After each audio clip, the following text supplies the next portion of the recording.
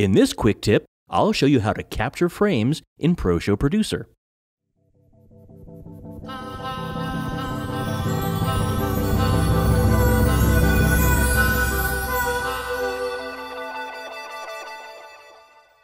When I'm working with a show, I'll often come across an effect that really makes my images pop, and I know I'd like to have that as just a single image.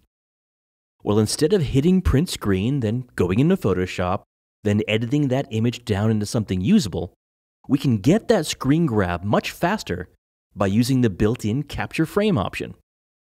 In the main workspace preview window, scrub the playback marker to the place in your show that you want to grab, then simply right-click and select Capture Frame.